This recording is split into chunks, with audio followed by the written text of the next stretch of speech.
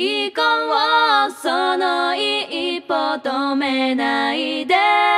繋いでいけばきっとたどり着ける。信じて突き進むんだ。決して諦めないから。